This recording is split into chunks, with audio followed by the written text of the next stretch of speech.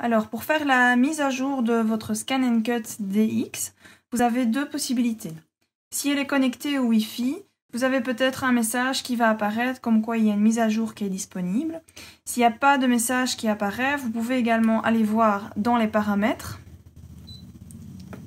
Je vais en toute dernière page, c'est même l'avant-dernière page. Ici, vous avez la version de la mise à jour de la, la version qui est sur votre Scan Cut. Donc ici, moi, je suis en 1.11 et la 1.13 est disponible. Donc je vais cliquer et ici vous avez deux possibilités, ou bien via le Wi-Fi ou bien via une clé USB. Si vous n'avez pas la fonction Wi-Fi ou que la mise à jour n'est pas trouvée via la fonction Wi-Fi, vous pouvez aller sur le site Browser Solutions et télécharger directement la mise à jour pour la mettre sur une clé USB. Et donc, on va faire la mise à jour avec la clé USB. Donc, on met la clé.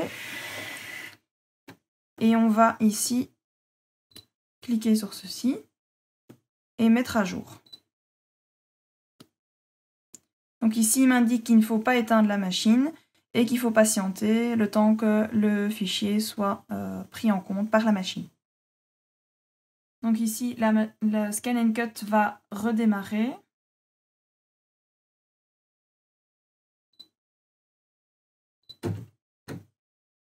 Voilà, on va aller vérifier que ça c'est bien fait dans les paramètres, avant-dernière page. Et donc vous avez bien ici la version 1.13 qui s'est mise sur le Scan Cut.